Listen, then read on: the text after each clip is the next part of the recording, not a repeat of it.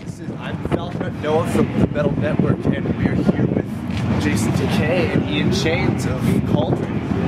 And how Right on. Yeah. You And got earplugs in for the interview?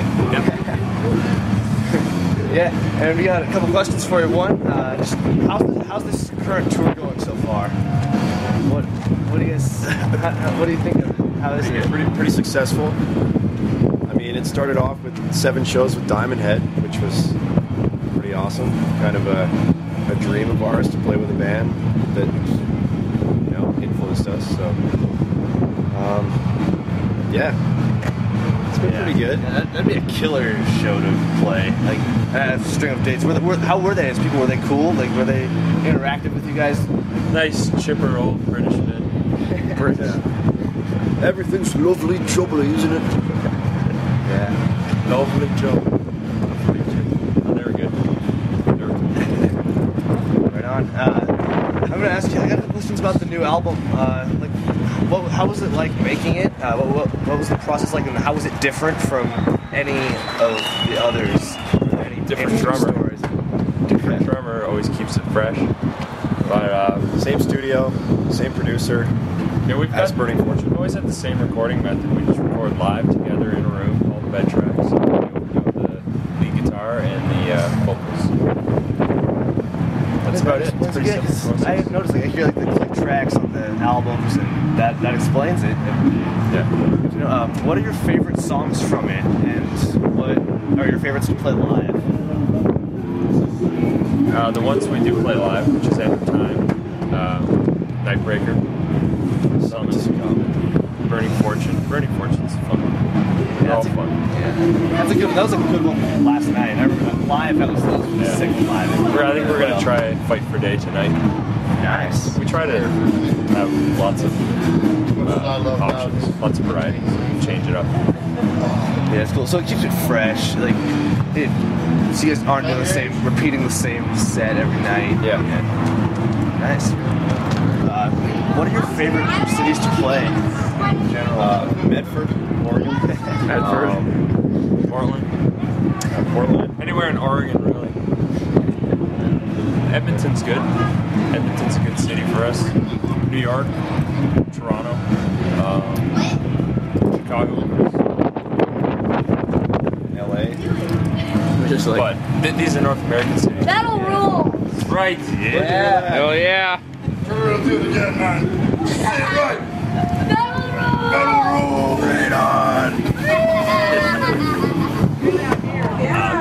those those are some good North American cities. Barcelona.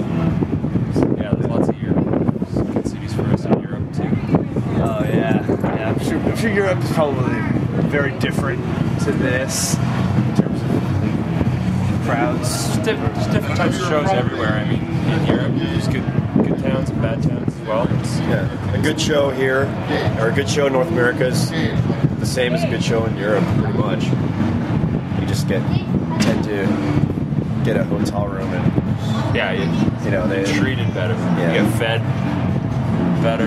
Yeah. You get you know proper place to sleep. Shit like that. Yeah.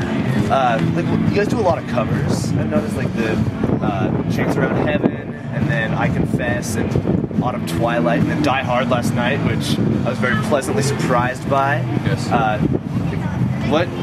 What? How do you guys decide what to play? Oh, we just well try to choose ones that are so obscure that people think we wrote it, except for Die Hard, obviously. But I, uh,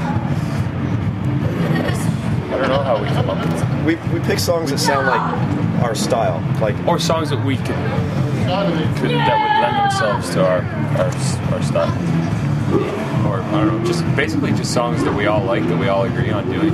Usually stuff we're listening to in the van on tour. yeah, You know, if we have like a a jam that we're playing the whole tour, it's sort of like the tour tour jam or the tour anthem. Sometimes when we get home from tour, we end up learning it.